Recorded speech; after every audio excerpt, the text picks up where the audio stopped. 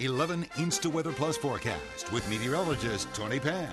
Welcome back. The time is 40 minutes after 9 o'clock. Always quiet on this Sunday morning. A few thin clouds out there, but we lost the wind from yesterday.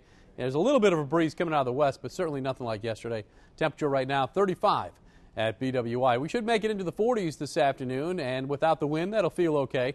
The average high temperature is 45, 46. We should be above that mark later on today. It's 34 in Westminster, 32 in Parkton right now, same thing in Rising Sun, and 34 degrees in Rock Hall. Over the last couple of hours, we've seen some high thin clouds start to come in from the west, and that's an indication that the atmosphere is changing once again. And indeed, there is a warm front just off to our west right now, and it's producing some showers, uh, some sleet, even some snow across portions of the Ohio Valley, back into the Great Lakes. And eventually, I think as this uh, warm front cuts through here later on tonight, uh, we're going to see a chance for a few showers as that goes by. But it is going to get us back into a mild air mass for the holiday tomorrow, at least briefly, but it's not going to last very long. We even have some snow to talk about by the time we get to Tuesday morning. But for today, a mixture of sunshine and clouds. The high temperatures this afternoon will be in the mid to upper 40s.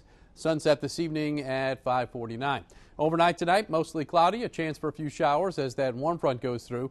The temperatures will drop back into the upper 30s. Kind of a complicated weather setup for tomorrow. Uh, warm front will be north of us, which means, like I said, we're going to be in the mild sector of this storm. We'll be in the 50s on Monday with a chance for a few rain showers. Then in the evening, this cold front's going to go through and tap into some very cold air that's up in the Great Lakes right now.